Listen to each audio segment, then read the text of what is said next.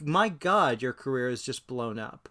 Oh, thank you. You're welcome. I mean, it, what you know, you you did a lot of horror. You you kind of, but you're you're really going to very unique and interesting places, especially with this film.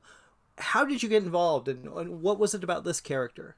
Oh, I, I just got it from uh, one of my agents. Uh, it got sent to me, and I read the script, and I absolutely fell in love with it. And it was different from the other stuff, and I thought that was good. That was good to kind of have a different, you know, instead of doing just horror film, I, I wanted to probably do something in a different direction, and this was like the perfect opportunity. I mean, it was such an amazing uh, director, and it's such an amazing, uh, it such a great uh, script. Uh, the, the way it was written, it was beautiful, and I thought I, I can't say no to this. I can never say no to this. I don't know who anyone w- who would, because this is amazing. Um, and so I said yes. Now, and it's uh, Peter. I, I, gotta say, this is you have you and Paul have this beautiful on-screen chemistry. Uh, what was it like kind of finding that because paul is just such a lovely human being in general can you talk about building that the relationship that you share in the film um, yeah well as you said uh, paul is a lovely person and he's a very good actor i mean he's he's really an actor he's not a personality you know so that i, I was very happy that we cast him in the movie uh, and working with him, you know, he's very professional. He knows what he's doing. He knows his craft, and uh, so do I. And uh, so you look at the person, at the actor, and you derive things from them. You know, you start looking at their face, at their body, how they move, how they behave, how they smoke, and you start, you know, like it is like a relationship that you build in real life. So that that's how it works in in filmmaking as well.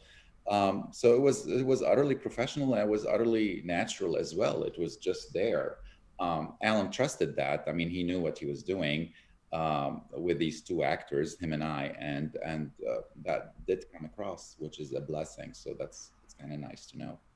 Yeah, and the three of you, it's it's just such a wonderful connection between the three of you, and and, and that's really obviously important in a road film.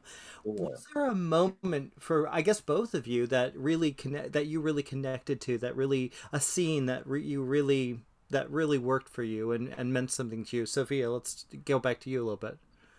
Oh, it really? Oh, jeez. Uh, um, well, I, I love the scenes with uh, in the car because that's when I got to really talk to both of them, and it was really it was really great um, to you know uh, hang out and it felt like a road trip. It really did, um, and um, I'm trying to think of like a specific scene that just was was I mean, I loved uh, everything was was was great in different ways. I mean, I love the scenes where just the two of them. I remember this is one scene where I'm actually not really that much part of it, but it's when those uh when uh uh Wally comes out of the car and they have that little conversation and then i'm just watching from like a mile away just like what, what's happening over there and just to hear them two of them talk and bicker it was it was such a lovely scene you get to really see their relationship and um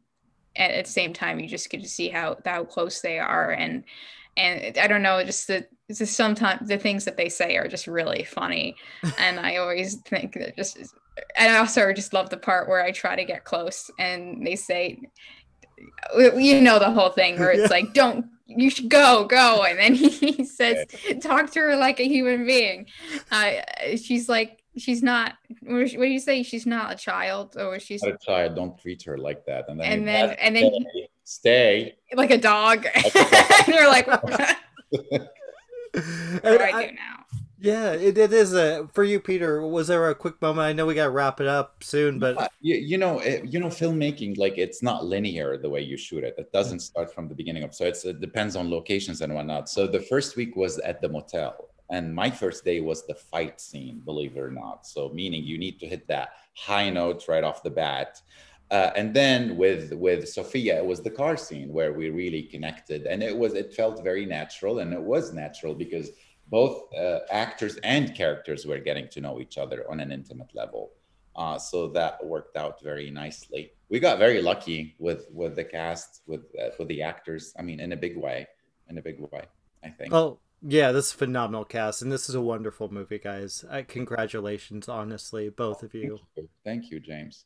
I love it. Thank you. You're welcome.